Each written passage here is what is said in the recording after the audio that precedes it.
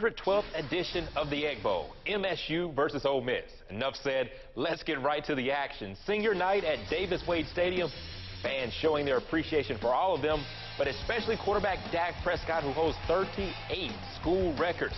Rough start for 15 tonight, though. He would fumble on the team's opening drive, and that would lead to immediate points for Ole Miss. His counterpart, Chad Kelly, on the quarterback keeper around the right side, 27 yards for the first score of the game. 7-0 Ole Miss. All right, Rebels, let's jump ahead to the three-minute mark of the opening frame. Rebels now up 14-0, and Dak makes another mistake. On the run, he tries to make something out of nothing, and Tony Bridges is going to make him pay 45 yards to the house for the pick six. Ole Miss up 21-zip in Starkville. They would go into the half of 28 to 3, and in the third, Dak Prescott would rally the Bulldogs, trying to mount a comeback. Here he reaches over the top for the touchdown, tightening the gap. But Jordan Wilkins would seal the deal for the Rebs with this 38-yard touchdown run in the fourth quarter. And Ole Miss wins for the first time in Starkville since 2003.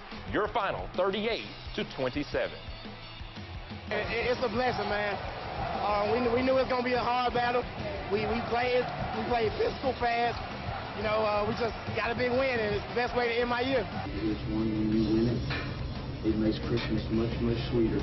And, uh, and, and, recruiting and the whole year long, my summer golf, I can enjoy it more. I mean, just turn over the first first possession, put his uh, helmet right on the ball, got to protect the ball better, uh, and then out of the pocket, should have thrown the ball away, something I usually do, and uh, try to make a play right there and throw it right to the guy, and the guy returns it. So, uh, a little put in the stomach, uh, doesn't feel good good about it. Made some mistakes out there, obviously. It looked pretty simply, you know, I mean, and whether it's the turnovers, minus two turnover ratio, not going to win many games when you're minus two turnover ratio. Obviously disappointed.